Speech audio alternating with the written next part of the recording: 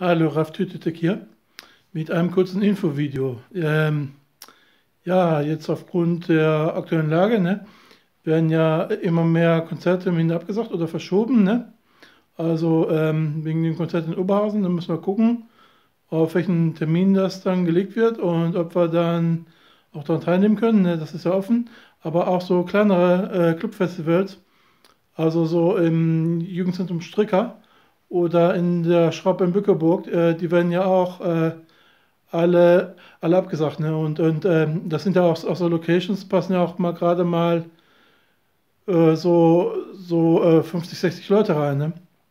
Ja, und ähm, dann habe ich heute noch erfahren, durch einen Filmkanal auf YouTube, dass auch ähm, diverse Filmstarts äh, verschoben werden. Ne? Zum Beispiel Fast and Furious 9, der Start, der wird sogar um ein ganzes Jahr verschoben. Ne? Und äh, ja, man macht sich halt so seine Gedanken, ne?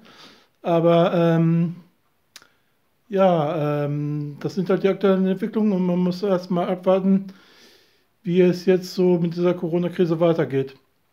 Ja gut, äh, das war's eigentlich für heute von mir. Nur dieses kurze Infovideo. Und ich würde sagen, bis zum nächsten Mal.